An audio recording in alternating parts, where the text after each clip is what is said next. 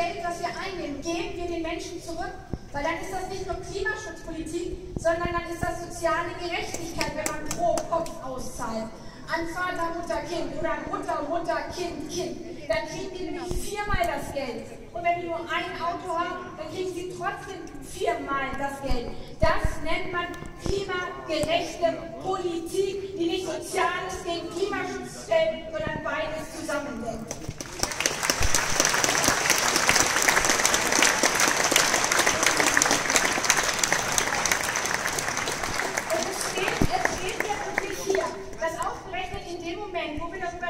Schaffen wir Elektromobilität auf unsere Straßen zu bringen? Wie schaffen wir es, dafür zu sorgen, dass Bauern von ihrer Hände Arbeit auch leben können? Einigen in unserem Land dann einfällt, insbesondere einigen anderen Parteien, ja, es gibt auch niedrige Renten. Ja, es gibt auch Kinderarmut. Ja, es gibt Menschen, die eben nicht genug verdienen, damit sie ihre Familie ernähren. Aber denen kann ich nur klar und deutlich sagen, dann führt endlich einen gesetzlichen Mindestlohn von 12 Euro ein. Dann führt endlich eine Kindergrundsicherung ein und erhöht die Hartz-IV-Regelsätze. Niemand in der Welt hindert euch daran, eine gute Sozialpolitik zu machen.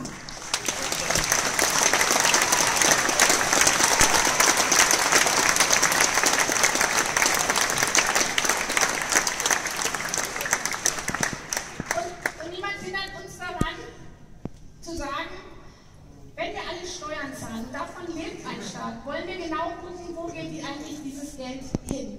Investieren wir da rein, dass einige, die sehr, sehr viel Geld haben, ihre Steuern senken können? Oder investieren wir in gute Kitas und Schulen? Investieren wir in Schwimmbäder? damit jedes Kind in unserem Land auch wirklich schwimmen lernen kann und man nicht einen Seepferdchenkurs für 150 Euro zahlen muss, sondern dass das Regelbestandteil von Schulunterricht ist. Investieren wir in unsere Eisenbahnbrücken, investieren wir in Klimaschutz. Das ist eine Entscheidung, das ist eine Wahl, die können wir gemeinsam als Gesellschaft treffen. Und wir glauben, es ist wichtig, in diesen sozialen Zusammenhalt zu investieren. Und es ist richtig, dass wir in die Infrastruktur investieren.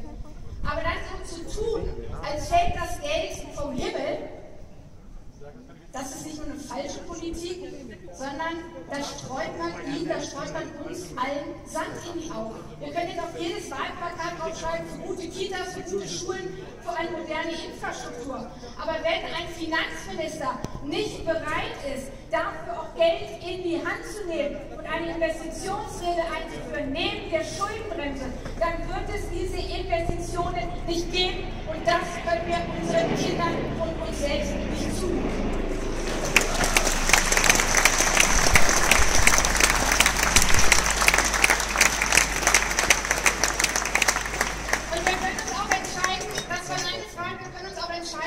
wer wir in Europa sein wollen. Natürlich kann man eine Außenpolitik und eine Europapolitik betreiben, wo man immer sagt, ja, wir würden ja gerne gemeinsam dafür eintreten, für unsere Werte in Europa.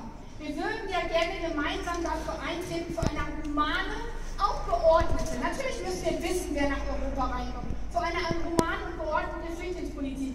Aber leider gibt es eine Regierung in Ungarn, die will das nicht. Ich frage mich, was das mit Politik zu tun hat. Ich frage mich auch, das, was das mit meinem Europa zu tun hat. Dieses Europa wurde immer darauf gebaut, dass mutige Menschen, einige von ihnen waren vielleicht als Kinder noch mit dabei, dass sie nach dem Zweiten Weltkrieg den Mut hatten, den politischen Mut hatten, dass aus Feinden wieder Freunde werden.